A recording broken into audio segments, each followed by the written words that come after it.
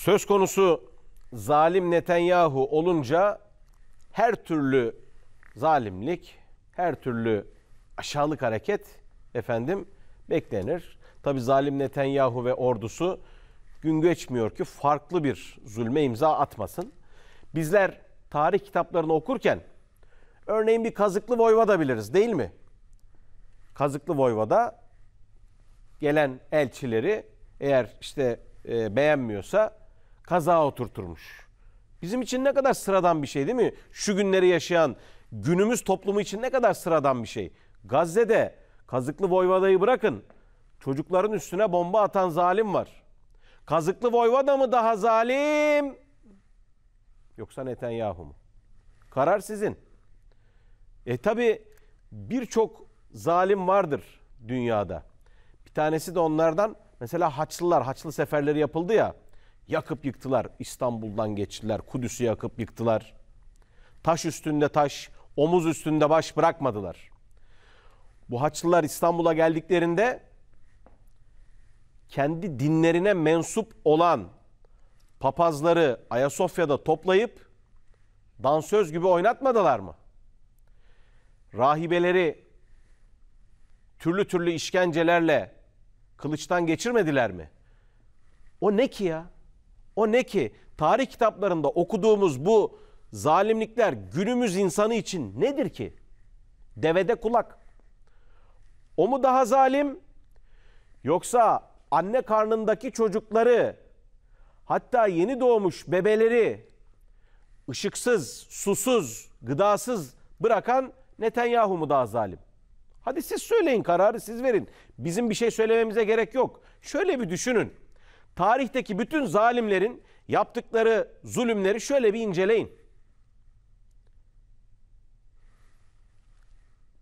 Ammar'ın annesi ilk Müslüman şehidimiz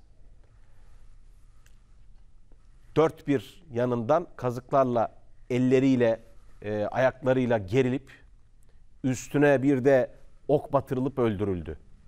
O mu daha zalim yoksa kendi esirlerinin üstüne bomba atan Netanyahu mu daha zalim?